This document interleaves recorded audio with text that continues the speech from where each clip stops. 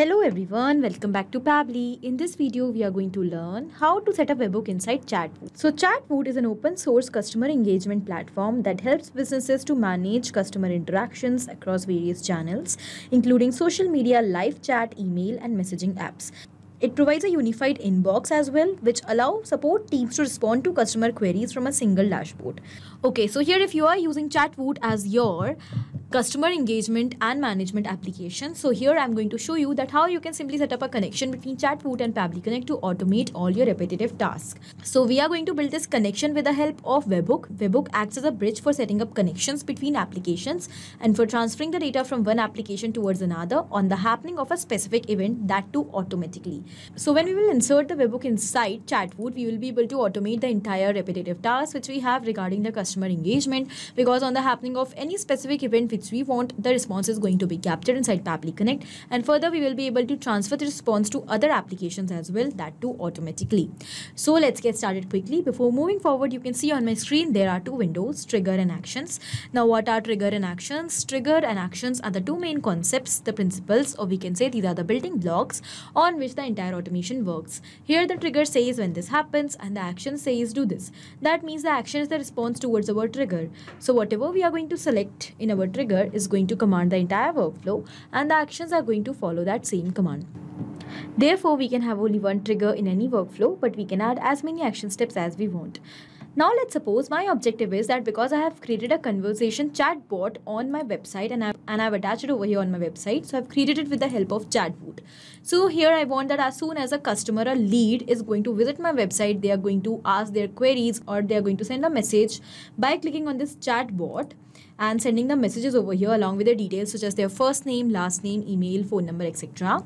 So I want to capture the response of that lead because they are going to be my potential customers. So here I want to create a record of all these leads who are submitting the messages over there on, on Chatwoot with the help of chatbot on my website.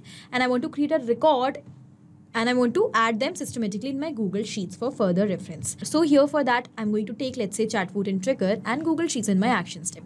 When we are going to build the connection between these applications, we will clearly see that action is going to follow what the trigger commands because when the trigger happens, that means when the conversation is created by the lead on Chatwoot, then only the details will be captured and added in Google Sheets, otherwise not. So after understanding the whole concept of trigger and action, let us quickly start creating this connection step by step. To start with the process, first of all, you have to go towards your trigger step and you have to select your trigger application as Chatwoot. Let's select that quickly and then we have to select the trigger event. Now trigger event is the event on the happening of which the workflow is going to trigger or it is going to start. We have list of events over here, contact created, contact updated, message created, message updated, conversation created and etc. So on the happening of whichever event you want to capture the response, you can select that event according to your choice from here. Let's suppose I'm going to select currently conversation created. I want let's say whenever a person, a lead is going to visit my website, they are going to send a conversation, they're going to start a conversation with a bot which I have created with the help of Chatwoot, then I want to capture the response of that lead. Okay, so how we are going to capture the response of that automatically? For that, we have received the webhook URL which we have to insert inside our Chatwoot account. And we have to follow the given instructions as well in order to insert this URL inside Chatwoot. So now I'm going to take you towards my Chatwoot account. Over here from the left side, you can see the option of settings. We have to select that. And from the left side over here, we have multiple options. Among these options, we have to select integrations. We have to go towards the webhook option now and over here, we have to click on this add new webhook button. So now we are going to add a new webhook. So first of all, let's paste the webhook URL over here in the webhook URL field. And then in the event section, we have to enter certain details. Conversation created, conversation status, etc. So here, because our objective is that whenever the conversation will be created, the response should be sent towards webhook URL. So conversation created will be our event over here. Let's click on create webhook. And over here, you can see that the webhook is set up successfully.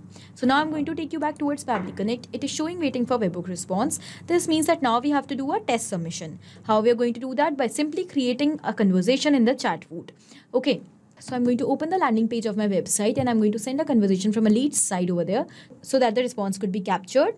So this is my website. This is the landing page of my website and I have created a chatbot over here for the customers, for the leads with the help of Chatwoot. So when I'm going to start a conversation with this bot, here we have to enter the details. So the lead is, let's say, entering the details such as the email address of the lead is, let's say, smartuser at the rate. Let's say the full name of this user is smart user and let's say the phone number of this lead is all right let's click on start conversation but it is asking us for the country code as well so here i'm going to select the country code then once again i'm going to click on this button start conversation here it is asking us type your message so let's say i'm going to enter the message as I want to know about the offer prices of the software. Okay, this is the message which I'm going to send. So I'm going to click on send.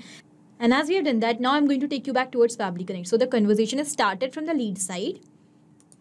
And as the conversation is started, you can see that the response is captured. So in the response, we have received all the details. We we have the timestamp at which the response is received. We have the status that is conversation is open because we have selected conversation started as our trigger event. Then we have the sender type that is contact. We have the phone number of this person. We have the name. We have the sender ID which is going to be unique for every lead. We have the email and we have the country code. Along with this, we have some other details as well. This means our connection between Chatwoot and Pabbly Connect is absolutely successful. So now as soon as a conversation is going to be created in Chatwoot, automatically the response of that person who has submitted that conversation is going to be captured inside Pabbly Connect.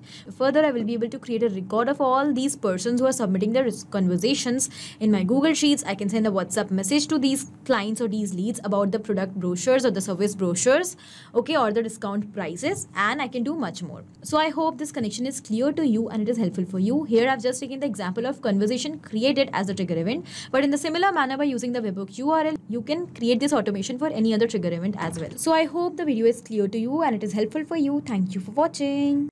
Not only these applications, but you can integrate multiple such amazing applications with the help of Pabbly Connect.